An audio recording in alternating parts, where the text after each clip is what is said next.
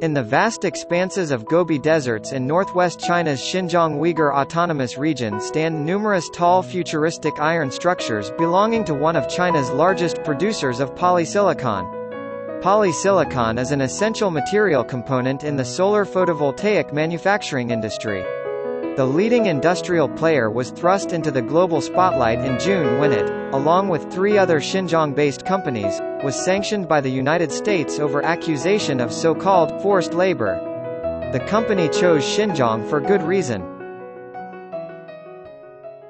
新疆也是凭借着优势的矿产资源、能源资源，包括低电低电价的一个优势，以及西部大开发的政政策的话，其实吸引了国内很多多晶硅企业的话来这边来进行一个投资。而多晶硅生产的话，它的上游是呃工业硅， 工业硅的原料的话是石英矿石，所以这一块的话，新疆的话是比较有优势的。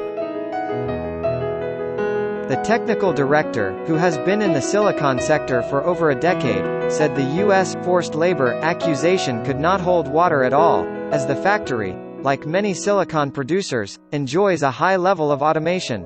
现在的话，公司 建设的话，先进的一个自动化的一个化工企业，我们所有的控制系统的话，都是通过呃自动控制来进行控制的，来进行一个就是操操作的。包括的话，我们现场啊、都是通通过机械化、智能化。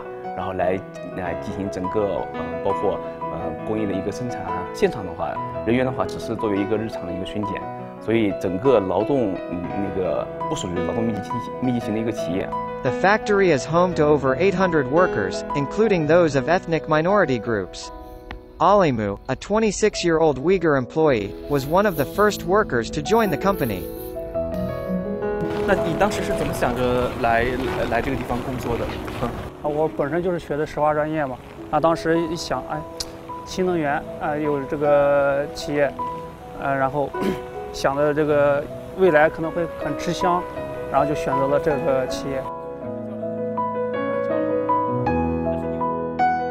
我们生活区总共有八栋楼，啊，八栋楼，然后。中间是我们的食堂啊，然后以及一些健身房呀、羽毛球馆啊、台球室等等，然后还有超市。呃，这个食堂的旁边就有我们的篮球场、篮球场，然后足球场，这个娱乐设施还是蛮全的。那你现在话，就是这个嗯，平时上完班当中想回家的话，方便吗？很方便。那我现在工作工作几年之后，我就买了属于自己的第一辆车，啊，然后，呃，我们家离得也很近，也就二百多公里，然后三个多小时就到家了，啊，每次想回去家里有事儿，然后我就开车就回去，很方便。Xinjiang is the largest production region of polysilicon in China, accounting for over half of the country's total polysilicon production capacity.